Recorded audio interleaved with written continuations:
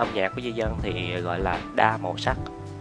À, di Dân không đi theo một lối mòn không theo một cái trường phái nào hết.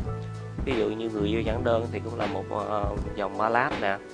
Còn uh, nỗi nhớ không bao giờ quên là đi theo hướng um, uh, nu disco. Còn uh, tiếng gọi này anh thì theo hướng R&B và tan vỡ cũng là một cái màu sắc mới nữa. Nó không phải là một dòng ballad mà nó quá quá buồn bã. Trước là à, công ty vạch ra hướng đi chi dân là chi dân phải đi theo dòng ballad là một hoàng tử hát nhạc buồn. Tại vì công ty nói là những dòng nhạc đó ra thì nó sẽ rất là dễ nghe và dễ đi vào lòng người á. Còn chi dân thì rất là thích những cái dòng nhạc mới mẻ ví dụ như là trend hay là nu disco on b hoặc là ngay cả rap. Và thời gian tới thì hy vọng rằng uh, uh, chi dân sẽ thử thách những cái uh, cái dự án âm nhạc mà có liên quan đến rap và những cái dòng nhạc mà nãy giờ à, chi dân nêu lên đó. Trong thời gian sắp tới Việt Nam của chúng ta bắt đầu bớt dịch đi bắt đầu hoạt động trở lại bình thường sân khấu có thể mở lại. Chi dân sẽ làm ra phim ngắn hoặc là có thể là phim chiếu rạp em có thể thử thách bản thân của mình.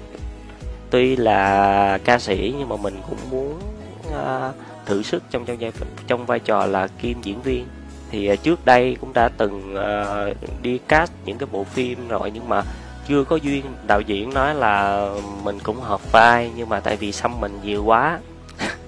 Cho nên uh, trong những cái vai đó thì uh, có kêu chị dân lên là cái vai này rất là hợp với chị dân. Che hình xăm thì hình xăm với dân nhiều quá thì mọi người nó nghĩ là khi mà quay phim ngày nào cũng phải make up nhiều như vậy thì sẽ rất là mất công cho đoạn. Cho nên là chi dân không có được đảm nhiệm trong vai đó và đạo diễn phải bắt buộc ờ, tìm một diễn viên khác. Ừ, cho nên là dân bây giờ chị dân sẽ tự sản xuất tự làm ra những cái bộ phim của riêng mình để cho mọi người có thể nhìn nhận là chị dân cũng có thể làm tốt trong vai trò diễn viên. Và sau này dựa vào những cái nền tảng đó mà mọi người có thể mời chị dân đến trong những cái bộ phim những cái dự án của mọi người. Song song cùng cái dự án đó thì chắc có lẽ là sẽ ra những bài nhạc R&B những cái dòng trend những cái dòng mới mẻ trong uh, âm nhạc để mọi người có thể uh, nhìn nhận duy dân là một người à, có thể uh, hát được đa dòng nhạc.